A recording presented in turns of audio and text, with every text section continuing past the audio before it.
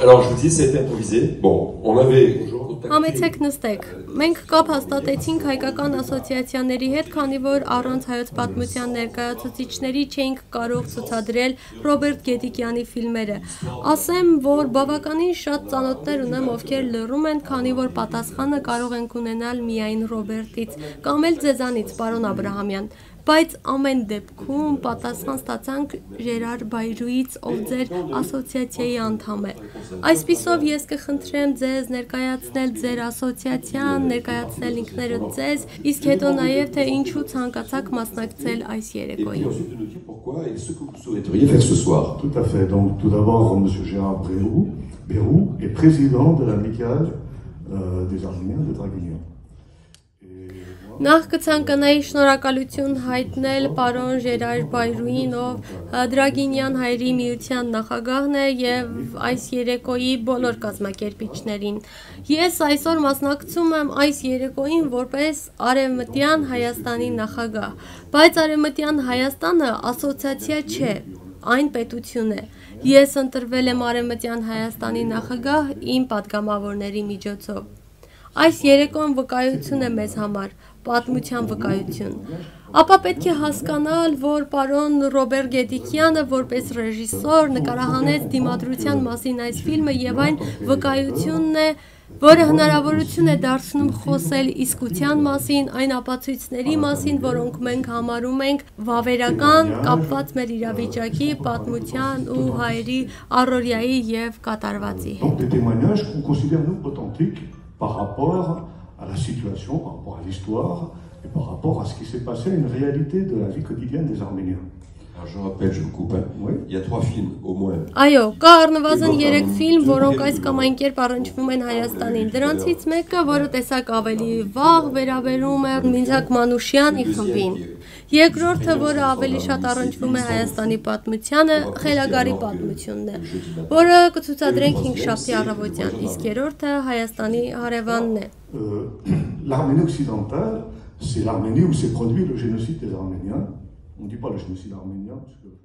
Արևմտյան Հայաստանը այն Հայաստանն է, որտեղ իրագործվել է հայերի ցեղասպանությունը։ Մենք չենք ասում հայոց ցեղասպանություն։ Ցեղասպանությունը որպես հանցագործություն եղել է ոչ թե հայկական, այլ թուրքական։ Դրա համար էլ ասում ենք հայերի դեմ իրագործված ցեղասպանություն։ Հայերի ցեղասպանությունը դա մարդկության դեմ հանցագործություն է իրագործված Թուրքիայի կողմից։ Ես, պարոն Գեդիկյանը, պարոն Մինցակ Մանուշյանը այս ցեղասպանությունը վերապրածների սերունդներն ենք։ Մենք մեզ հետ տանում ենք այս վկայությունը, այս պատմությունը եւ այս ժառանգությունը։ Այսպիսով, պարոն Գետիկյանը այս ժառանգության իսկությունը բերում է ներկա ժամանակներ։ Երբ մենք խոսում ենք Ֆրանսիա հայերի դիմադրության մասին, խոսում ենք նաև 1916 թվականին Արևելյան լեգիոնի կազմավորման մասին ֆրանսիական բանակի կողմից։ Ազատագրելու համար Կիլիկյան եւ Արևմտյան Հայաստանը, ինչպես նաև ապագա հայոց ազգային բանակի կորիզը կազմելու մասին։ Սա կարևոր է, քանի որ հենց ֆրանսիական դրոշի ներքո է ձևավորվել այս Արևելյան լեգիոնը, որը պետք է սկզբում ազատագրեր Կիլիկյան, հետո նախագծում էր Պաղեստինի ազատագրումը, Լիբանանի ազատագրումը, Սիրիայի ազատագրումը։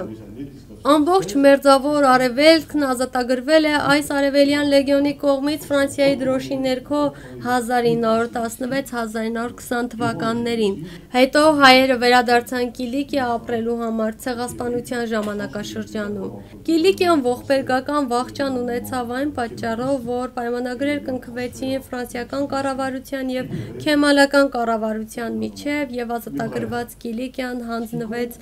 թուրքական կառավարությանը։ Բայց կարևոր է, որ Կիլիկիայի հայերի մեջ միշտ կար դիմադրության ուժ։ Միսակ Մանուշյանը ծնվել է Ադիյամանում, Կիլիկիային շատ մոտ, եւ նա արդեն ուներ դիմադրության գեն, երբ եկավ Ֆրանսիա։ Ասալայի մեծերը եւ մեր նախնիները ռազմաճակատից, ովքեր պայքարը շարունակում են առ այսօր Արցախում, իրենց սրտում ունեն դիմադրության այս գենը, որպեսի կարողանան դիմադրել։ Եվ հենց այս հաստատակամությունն էլ կոչվում է դիմադրություն։ Սա կարևոր է, քանի որ սա թույլ է տալիս սահմանել այն, ինչ այսօր մեզ ցույց է տվել պարոն Գետիկյանը։ Այսպիսով, կարծում եմ, որ դուք համաձայնեք ինձ հետ։ Կհամաձայնվեք գոնե հայերի անունից, այսօր ներկա անհատների անունից։ Թույլ տվեք ինձ պարոն Գեդիկյանին հանձնել շքանշանը։. Robert Guédiguian.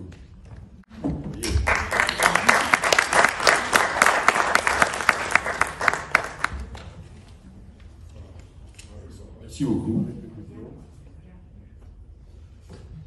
Alors, cette médaille, c'est la médaille de Boros Nobal, Այս մեդալը Պողոս Նուբարի մեդալն է, բրոնզե մեդալ է։ Հայ, ով պաշտպանել է Արևմտյան Հայաստանի իրավունքները 1919 թվականի խաղաղության համաժողովում եւ ստեղծել Արևմտյան Հայաստան պետությունը, որի նախագահն այսօր ես եմ։ le président aujourd'hui. Je voulais vous remercier. Շնորհակալություն բոլորին։ Merci beaucoup, monsieur Abrahamian. Nous sommes très honorés.